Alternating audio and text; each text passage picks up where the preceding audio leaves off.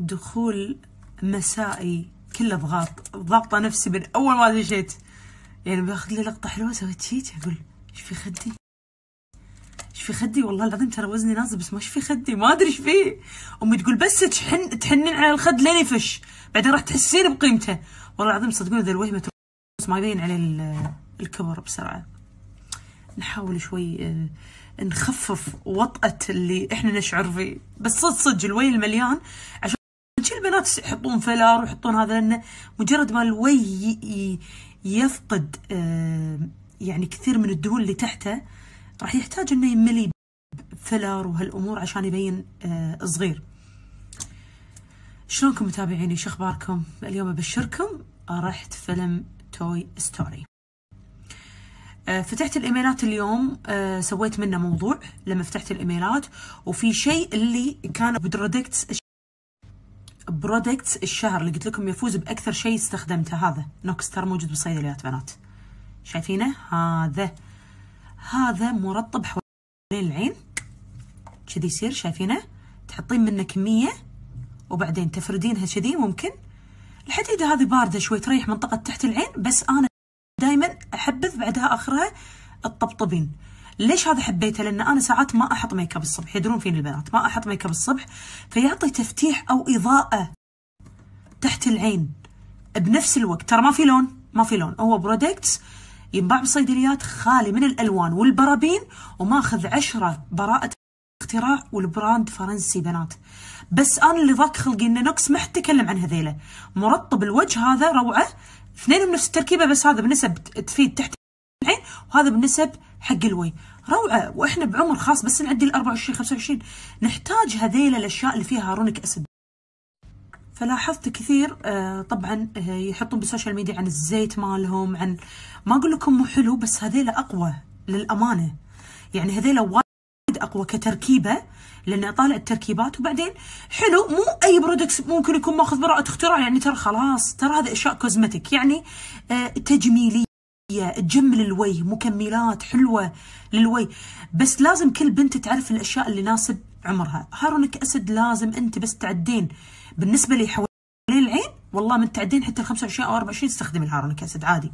الوجه اللي أقول 27 26 أواخر العشرينات بداية الثلاثينات ضروري تحطين شيء في ال hyaluronic acid هذول الاثنين حلوين هذول الاثنين حلوين.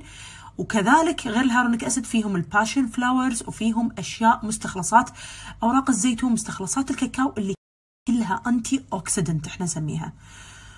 روعة جدا هذا. هذا وايد حلو. هذا استخدمته بهذا بس هذا الامانه استخدمته أكثر. اللي مال تحت العين. روعة.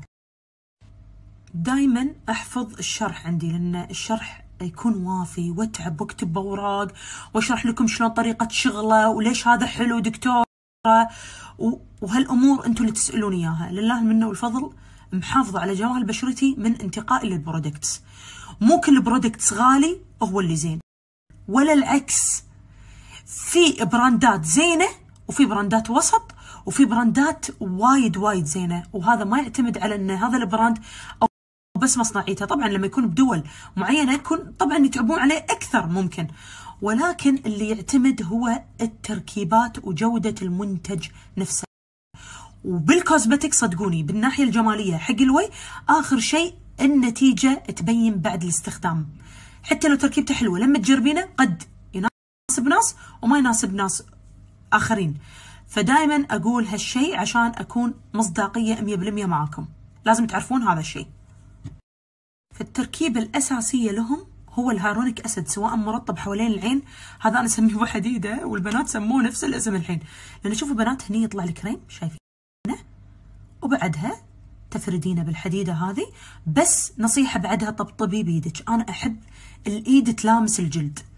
لازم تاخذ يعني تاخذ الفايدة لما تطبطبينه بيدك بعد آخر شيء. حلو فردة بالحديدة هذه نفسها ولكن هم طبطبيه بيدك آخر شيء.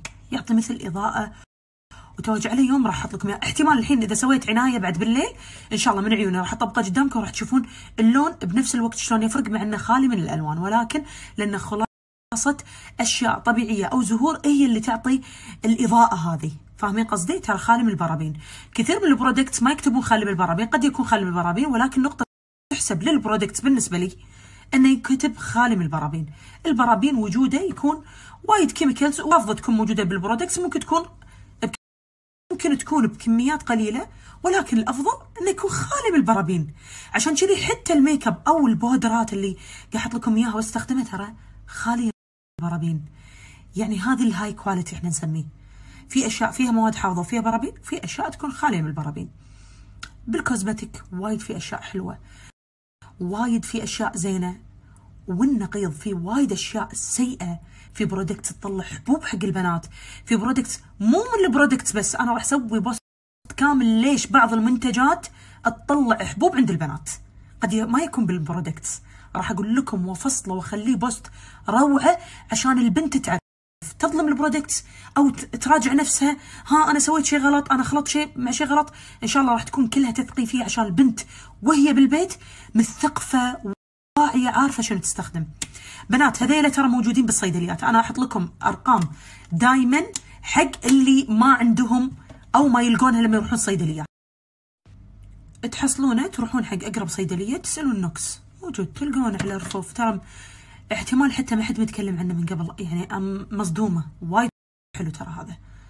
وسعره زين أنا ما أحط أشياء وايد مبالغ فيها over ولا أشياء حيل مثلا مو الرخيصه مو حلوة ممكن يكون اسعارها شوي نازلة بس ما فيها تراكيز معينة أو أشياء معينة. في اللي كذي وفي اللي كذي بنات. بس هذا كتجربة وكتركيبة روعة صراحة. حطيته أول ما شرحته وحطيته لما استخدمته وتشوفوني طول الشهر قاعد لكم اياه لأنه وايد حلو. هذا استخدمته أكثر من هذا للأمانة. بس بحط لكم المرطب بحط لكم هذا. اثنينهم فيهم نفس التركيبات. ال hyaluronic acid مع passion flowers وخلاصة أوراق الزيتون ال chocolate ك antioxidant وأشياء مغذية مفيدة للبشرة. لا تهملون الترطيب بنات. بس استخدموا المرطبات الصح حق أعماركم وإن شاء الله راح توصلون حق النتائج الحلوة واحتمال الأشياء التجميلية أو العمليات الجراحية تحتاجونها ولكن في فترة متقدمة من العمر.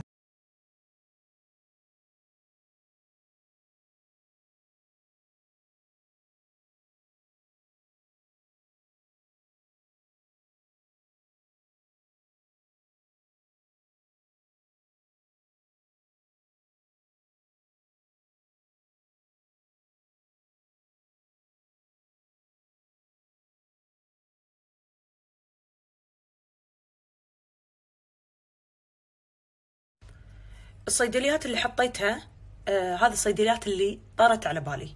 الموقع اللي حطيته موقع معتمد وموقع صيدلية للعلم. مو اونلاين حي الله كلام أو أي شيء.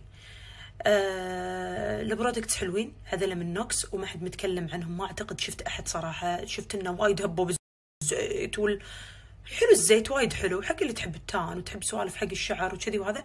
بس مو الأفضل عندهم مو هو ال top. للأمانة يعني وبكل مصداقية وبكل صراحة ولكن هذيلا يعتبرون من ال top عند نوكس مع احترامي حق باقي المنتجات ولكنه كذلك وايد وايد مميز عنهم.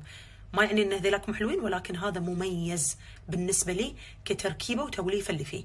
يعني إضافة ال hyaluronic acid تعطي قيمه حق ال products خاصة إحنا نعرف شنو ال hyaluronic acid. ال hyaluronic acid قام يحطونه بإبر ويعبون فيه الويه. فأنت استخدميه عشان لين توصلين حق المرحله هذه تأخرينها شوي. هذه وجهة نظري.